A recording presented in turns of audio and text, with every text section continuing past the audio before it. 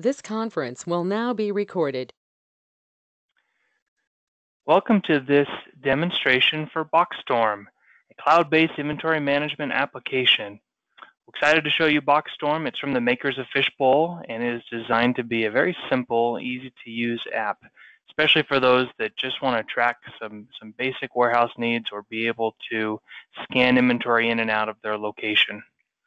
We find that uh, common uses for, for BoxStorm or industries are uh, small services companies, those that need to do some very basic job costing, uh, track what's on their trucks, be able to scan things to jobs, and then those that just have a, a wide range of types of warehouses, whether that is a truck or a medical clinic or a facility, uh, where they just need to be able to scan inventory in and out and be able to get reports and alerts. So today we're going to be showing you the BoxStorm website, the primary BoxStorm application, as well as the app that comes on iOS and Android for BoxStorm, where you can do a lot of the applications, especially for scanning, things like that. So to get started, we're in the BoxStorm uh, application right now, and we've it's been designed to have a very straightforward uh, front page view of your inventory.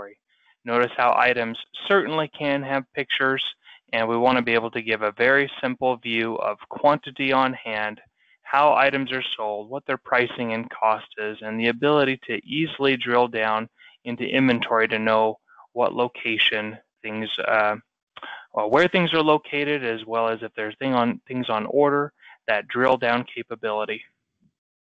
An item in BoxStorm has the capability of having a number of details and custom tags uh, that you can use for being able to do custom searches and easily find things that you've categorized.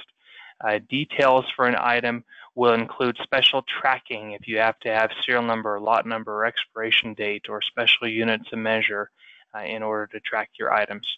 One of the most popular features in BoxStorm is the capability of setting up min-max levels with alerts. So you can receive an email or a text letting you know when inventory is getting low. Should probably mention that you can have an image for all of your items in BoxStorm and you can have unlimited locations. So a location could be a warehouse, it could be a bin location within a warehouse, it could be a person, uh, a location could certainly be a vehicle or truck, um, and you can do reporting by any of these particular locations. Again, quite a bit of the emphasis in something like a Boxstorm is being able to uh, report easily on what inventory we have on hand, as well as its history and what changes have potentially been made. These reports are available to uh, you know, be saved into a number of formats and are easily accessible. You're also able to view that same inventory from the app. And that gives us the ability to drill down on the application, see a picture, know what status, what uh, inventory locations these particular items are sitting in. Because of the, the simple nature of BoxStorm, a lot of focus was made on, on barcoding. Uh, the ability to print labels uh, or use labels for, for various inventory items. You'll see that, especially within the application, I can come in and be able to have a scan mode here that essentially allows for the, the software to uh, identify what is it that we're doing. Are we adding inventory? Are we subtracting inventory? Are we simply moving? Are we doing a cycle count? These are all things that we can do just from a, a quick click from the application. Now, for some, they will use this just on their phone. Uh, for others, they'll want to use some some more intense scanners in the warehouse, which there are a number of them that we that we offer or can give you access to. Now, for others, you know, they want the application do much more than just track inventory in and out or to, to give them a very simple feel. They need to be able to do an element of job costing or at least be able to uh, actually purchase and receive in the system. So within BoxStorm, you do have purchase orders, the ability to track vendors. I can come in and create purchase orders and those can be emailed out of the system. They can be printed and uh, most importantly, they can be received against. You'll have your custom logo on there as well. Similarly, we need to be able to do uh, not only the ability to just scan inventory out, but uh, actually uh, sell inventory to a, to a job or to sell to an actual customer. So whether you're just costing or you're using the sales order uh, with pricing on there, Boxstorm has sales capabilities. So similarly, I can drill down, uh, be able to look at the details of any sort of order and add however many items that I need to, can save as a quote, or I have the ability to, again, uh, print invoices, send them out of the system. This same capability uh, is inherent in the app as well. So on the application, I can come in and look up a sales order and be able to see the status if part of it has been fulfilled or if it's still in a quote status.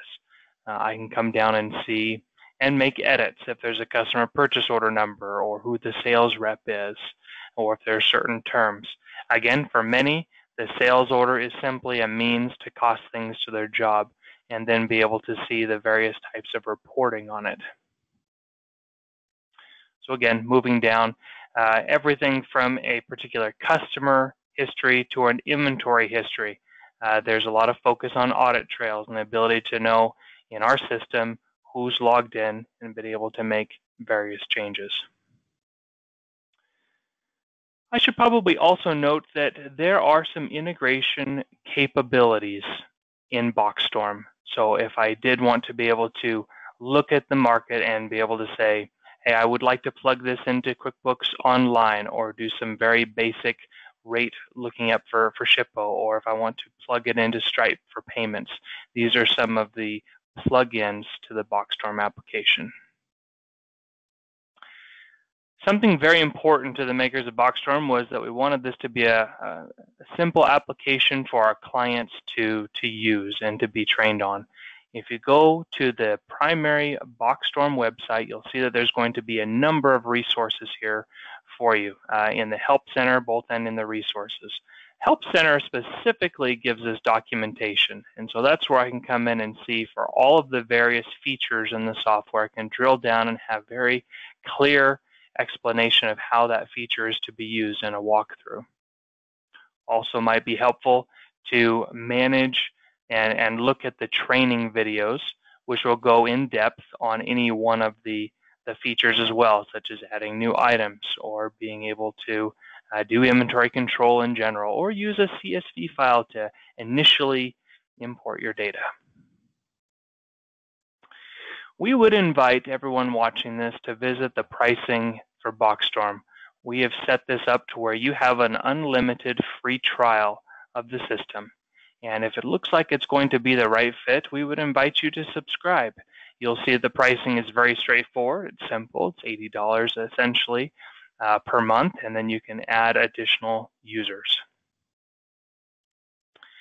Um, once you actually subscribe to Boxstorm, we have additional training resources that are available where you can have some hands-on help or some remote training or even on-site training options. Hope you've enjoyed this overview of Boxstorm. We look forward to working with you. Hope you have a great day.